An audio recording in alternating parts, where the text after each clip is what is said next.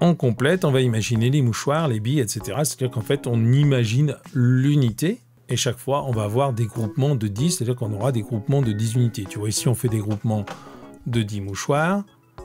Ici, on fait des groupements de 10 billes. Ici, on fait des groupements de 10 élèves. Ici, on fait des groupements de 10 euros, de 10 voitures. Ça veut dire que 10 mouchoirs, bah, c'est une dizaine de mouchoirs. 10 billes, c'est une dizaine de billes. 10 élèves, c'est une dizaine d'élèves. 10 euros, c'est une dizaine d'euros. Et 10 voitures, c'est une dizaine de voitures. Et chaque fois, on va essayer de compter l'unité en tout. C'est-à-dire qu'ici, on va essayer de compter des mouchoirs.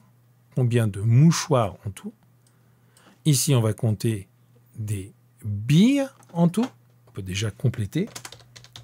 Nous, on cherche le nombre de billes. Ici, on cherche le nombre d'élèves. Ici, on va compter les euros. Et ici, les voitures. Ici, 10 mouchoirs et encore 15 mouchoirs, c'est 25 mouchoirs en tout. Allez, je te laisse avancer, on se retrouve tout de suite après la pause.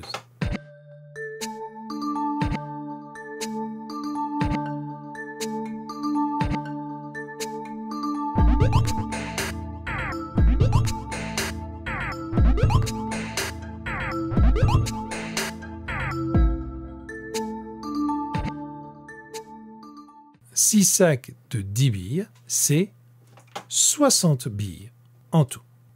Ici, on va compter des élèves. On veut donc savoir combien on a d'élèves en tout. Eh bien, 4 équipes de 10 élèves, c'est 40 élèves. Et 2 élèves, c'est 42 élèves en tout. Ici, on comptait des euros. 3 billets de 10 euros, c'est 30 euros. 19 pièces de 1 euro, c'est 19 euros en tout. Ça nous fait 49 euros en tout. Et enfin, on comptait des voitures. Deux rangées de 10 voitures, c'est déjà 20 voitures. Et 4 voitures, ça nous fait 24 voitures en tout.